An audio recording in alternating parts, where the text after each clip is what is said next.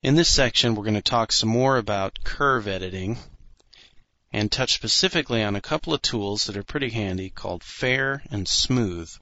Now, these tools both have sort of a similar function. What they do is just kind of round off your shapes, make everything a little smoother.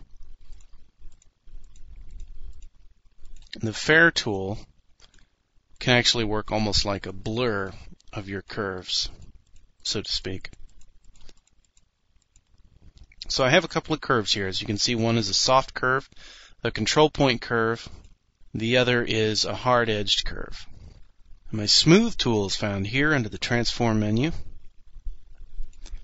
And my fair tool is found here. Curve menu, curve edit tools, fair. So let's start with this one.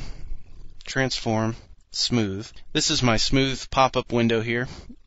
X, Y, and Z just lets me know that I'm smoothing in all directions, which is good. And here's the smooth factor.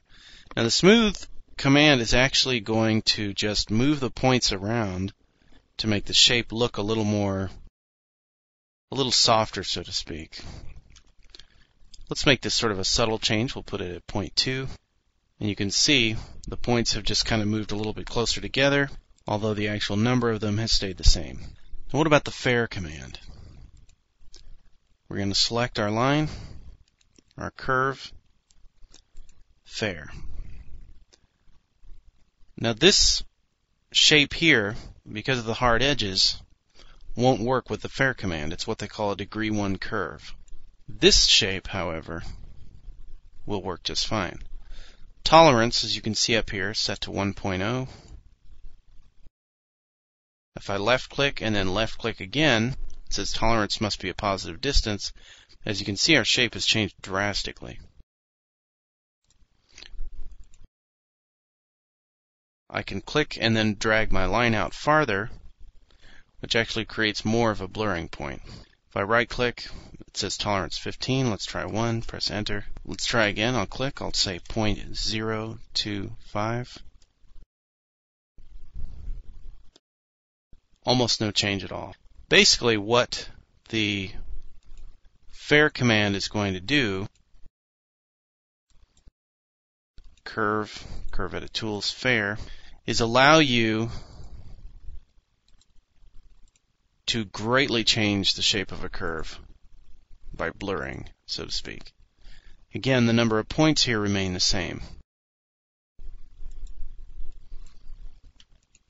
So for a better look at how something like that might work, let's create a curve that has a lot of shape to it.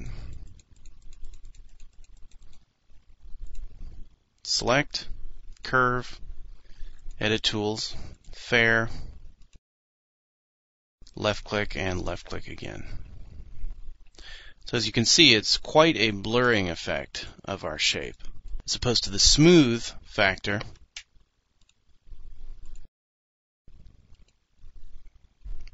which allows the shape to retain more of itself depending on the value that you put in. Now the smooth command is also different from the fair command in that it will work on any shape that has control points.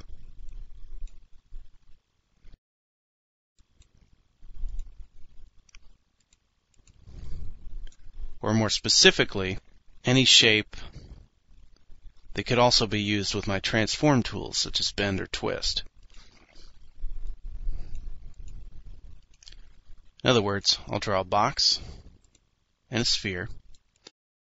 Now let's try to turn on control points for our box. Enable. For our sphere, they turn on just fine. What that means is even though the sphere is obviously not a curve, it's a three-dimensional shape, it means that our smooth command will work. The smooth command can also be used on any polygon mesh because all meshes have control points, even a mesh box. And it's got quite a few points as you can see.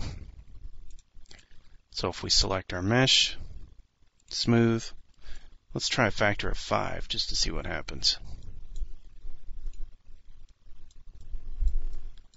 As you can see, it's done kind of an unusual thing to our box.